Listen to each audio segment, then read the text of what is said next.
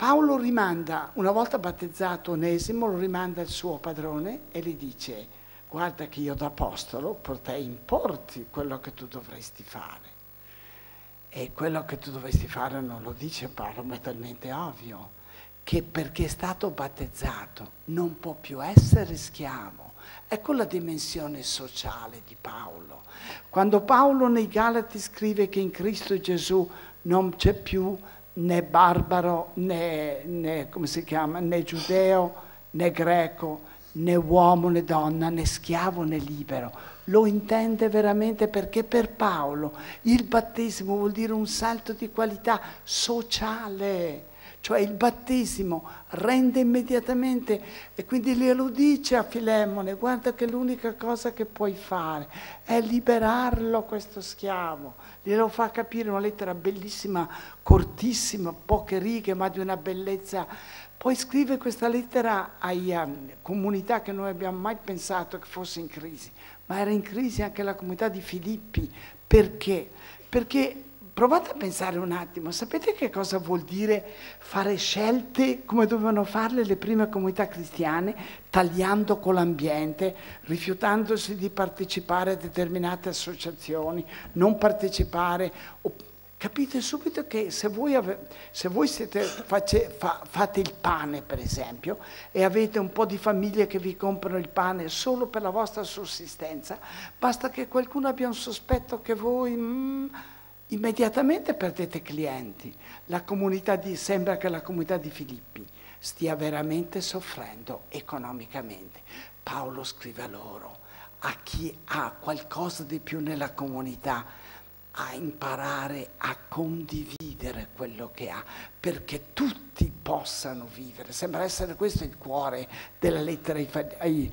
E notate che mentre fa questo, eh, queste due lettere, lui poi viene liberato e la comunità di Corinto è ancora in pasticci, allora decide di andare lui stesso a Corinti, ci va attraverso la terra, via, prenderà la via Ignazia, poi viene giù verso Corinto. Lungo la strada aver incontrato Tito che gli porta buone notizie e scrive la seconda lettera ai Corinti, una bellissima lettera. Notate, arriva a Corinto nella facilmente nel 57, tardo 57, si riconcilia con la comunità e lì nella primavera del 58 scrive quello che è il suo capolavoro, la lettera ai Romani, che non è una lettera dogmatica, per favore, è una lettera pastorale. Scrive a questa comunità, lui non ha mai fondato Roma. La comunità cristiana di Roma è nata attraverso commercianti ebrei che hanno portato la fede nel Messia morto ma risorto a Roma. Notate questo adesso è importante capire. Paolo, guardate che i Romani è l'ultima lettera che Paolo scrive ed è il suo testamento. È un testo, guardate, Romani, di una densità, ma non è una lettera dogmatica. Sta scrivendo a una comunità che si è spaccata a Roma, fra i forti e i deboli. E cos'è che dice? Bisogna capirlo Paolo ed è importante anche per noi, noi pensiamo di avere problemi. Provate a pensare a quest'uomo che è arrivato a Corinti e ha inventato questa straordinaria esperienza della raccolta di fondi per la comunità di Gerusalemme. Perché? Di nuovo la logica economica. Paolo dice, le comunità che io ho fondato stanno un po' meglio della comunità di Gerusalemme. Chiedo a voi tutte comunità, quel più che avete di metterlo da parte io con due delegati per ogni comunità che portano i soldi, non voglio saperne di soldi, dice Paolo, e andiamo a Gerusalemme. Paolo sta preparandosi al viaggio a Gerusalemme. Cos'è la situazione? Lui sa che quel viaggio finirà male, lo sente già e di fatti andrà a finire male facilmente Paolo sarà tradito e consegnato ai Romani a Gerusalemme.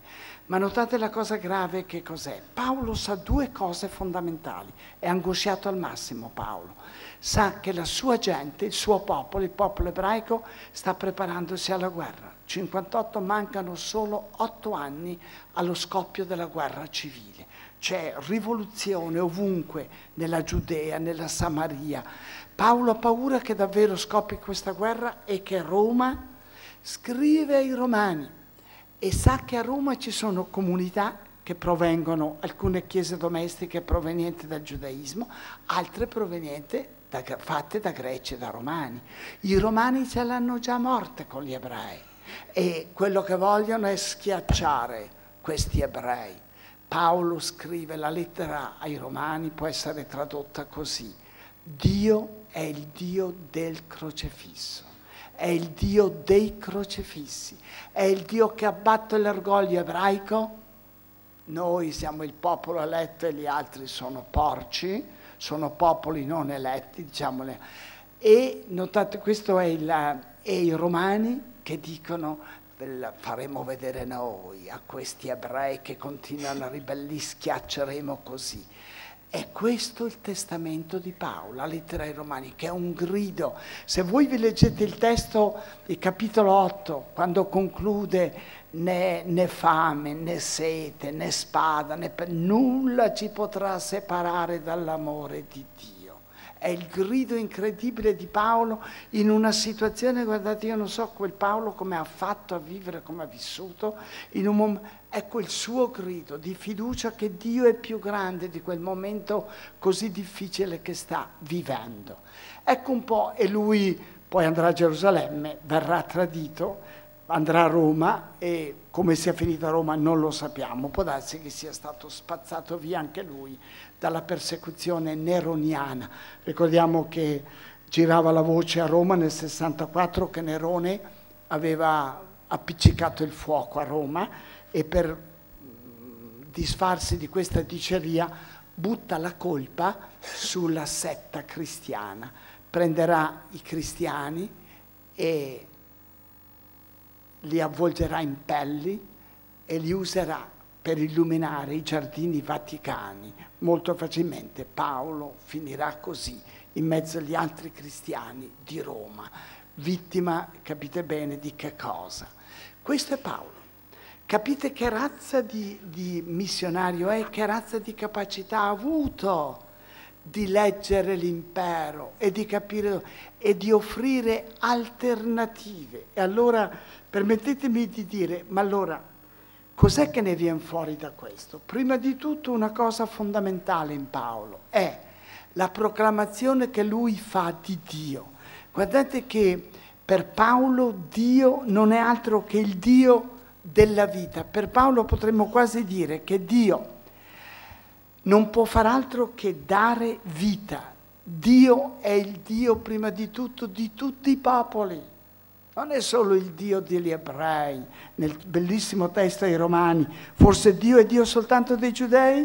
No, lo è anche dei pagani? Certo, anche dei pagani, poiché non c'è che un solo Dio, il quale giustificherà per la fede i circoncisi e per mezzo della fede anche i non circoncisi. È il Dio di tutti i popoli e tutti i popoli sono popoli eletti per Dio. Israele doveva servire per Paolo solo come esempio di come vivere per, per quasi spingere gli altri popoli a vivere in una via, chiamiamola bella e sapienziale che porta alla vita. Secondo, Dio per Paolo è sempre il Dio dei crocefissi non solo del crocefisso di Gesù, ma di tutti i crocefissi. Guardate che lo capite allora perché Paolo contesta la comunità di Corinti quando gli dice ma Dio ha scelto ciò che nel mondo è stolto per confondere i sapienti, Dio ha scelto ciò che nel mondo è debole per confondere i forti, Dio ha scelto ciò che nel mondo è ignobile e disprezzato, ciò che è nulla per ridurre a nulla le cose che sono dice l'annuncio della solidarietà compassionevole di Dio con il popolo crocifisso, la proclamazione secondo le parole di Martin Luther King, le bellissime parole di King, è bello ripetere in un momento così difficile come questo, The universe is bent on justice. L'universo è come se fosse curvo verso la giustizia e forse ne stiamo incominciando a imparare qualcosa in questi giorni perché sta spuntando il nuovo. Dice la proclamazione non è più realistica oggi, eh, oggi la pressione a costruirli con il realismo della teologia imperiale è quasi irresistibile, cioè l'annuncio della solidarietà compassionevole di Dio verso i crocifissi Oggi la riprendiamo invece con un'altra teologia, la teologia imperiale. Tuttavia, con la grazia di Dio, uomini e donne continuano a vivere nella forza della risurrezione anche nel regno della morte, nascosti nello splendore dell'attuale impero mondiale e a sfidare le altisonanti minacce di morte, confidando in un Dio che dà la vita ai morti. Ecco Paolo. E capite perché Paolo ha sfidato l'impero e ha pagato alla fine per questo. È la sfida, è proprio è stato uno scontro. Oggi lo comprendiamo questo sempre di più. Quindi notate poi l'altra cosa incredibile per Dio in Paolo, lo trovate sopra, ma in tutti i testi di Paolo, questo Dio che praticamente si, si svuota, ed è un concetto importante, non è soltanto Gesù che si svuota, Gesù che era nella forma di Dio. Notate, si svuotò, prese la forma di uomo, poi la forma di schiavo, il crocefisso. Notate questo svuotarsi, svuotarsi e poi questo ritorno alla, al Padre Notate una cosa importante, la domanda che dobbiamo porci, questo svuotarsi è solo di Gesù, in Paolo, oppure esprime qualcosa di più, esprime il concetto di un Dio che si svuota. Noi oggi lo rendiamo nel Dio di Levinas, per esempio, impotente, noi l'abbiamo sempre concepito come l'onnipotente, e se invece Dio creandoci liberi non fa forse proprio questo, lui non può violare la nostra libertà. È come una mamma che dà la vita a dei figli, tutti sani, ne può partorire uno malato. Sapete cosa vuol dire per una mamma vedersi un bimbo fra le braccia? Provate vedere la tenerezza di una donna quando si vede un bimbo morirle fra le braccia. Notate questa forse la tenerezza che ha Dio con noi, ma è l'impotenza di Dio proprio perché ci ha permessi di essere liberi. È un Dio che si svuota, che è clemenza, che è compassione. In, questa, in questo bellissimo direi oggi riflessione che facciamo anche sul creato, diventa fondamentale questa presenza misteriosa, debole diremmo noi, è molto presente in Paolo, proprio perché Dio è il Dio dei crocifissi, è il Dio del crocifisso, ma che dà vita e che non fa altro. Seconda cosa fondamentale, Paolo è un appassionato di Gesù di Nazareth, ma anche qui per favore la mia preghiera è Guardate che oggi c'è una ricerca sul Gesù storico straordinaria. Paolo non ha mai incontrato il Gesù storico, ha conosciuto il risorto, ma un tale appassionato di Paolo. Pensate che di Gesù, la, la parola in Cristo e Gesù appare 160 volte nell'etere. Paolo è un mistico di Gesù che ritraduce nella sua vita la stessa esperienza di Gesù nel contesto romano. Gesù è stato fatto fuori dal Tempio e da Roma perché visto come sobillatore contro l'impero. Paolo replica nella sua vita stessa, lo stesso giudizio su Roma che vede in Paolo un elemento sovversivo e lo vuole far fuori. E allora capite come diventa importante questo, questo ritorno al Gesù storico, al Gesù che ha fatto le sue scelte in quella Galilea, ritraducendolo poi in questo nostro oggi. Non è questione di fare archeologia, è questione del vivere nell'oggi con una passione come Paolo ha vissuto. E in questo non lo possiamo fare semplicemente annunciandolo, dobbiamo fare come Paolo, facendo comunità alternative all'impero. Noi viviamo oggi dentro un impero che è altro che impero romano. Mai impero è stato così vittorioso, così potente, così universale come l'impero del denaro oggi. Mai nessun impero. Mai così suadente. Non ha neanche bisogno della polizia. Guardate la, la società dei consumi, come, come, come ci prendono dentro, come ci... Capite? Questo è l'impero entro cui noi oggi viviamo, un impero che permette a pochi di papparsi quasi tutti. Un miliardo su sette può papparsi l'83% delle risorse di questo mondo. Per continuare a vivere così abbiamo bisogno di armi spaventose